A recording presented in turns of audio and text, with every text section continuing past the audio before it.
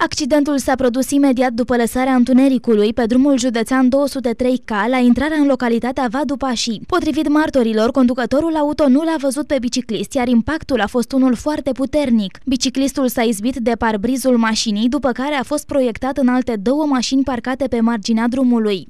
Și omul cu mașina a venit, a dat pe accelerație, l-a bușit din spate, ne-a Florin a căzut capul pe uh, parbriz, a căzut după aia capul jos. Și omul ăsta nu l-a văzut că e jos și el a vrut să plece, l-a oprit niște oameni aceia ca să nu mai plece. A mutat mașina, a venit salvarea, l-a luat, uh, după ce l-a luat, a plecat, uh, la suit, a vrut să țin mașină poliția și el nu a vrut să se suie și i-a dat poliția. Două palme, l-a suit, după aia s-a dat și pe jos din mașină, după aia l-a luat poliția băgat în mașină și l-a dus la pușcărie. Deci acolo, că Nenea Florin avea veste și pantaloni din aia regulate.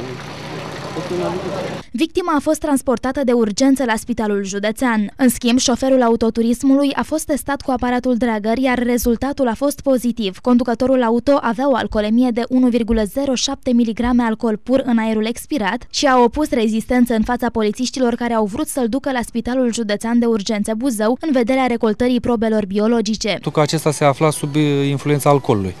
În urma evenimentului rutier a rezultat rănirea gravă a, a biciclistului care a fost transportat la Spitalul Județean Buzău pentru acordarea de îngrijiri medicale. În cauză a fost întocmit dosar penal, iar cercetările sunt continuate de polițiștii Serviciului Rutier din cadrul Inspectoratului de Poliție Județean Buzău.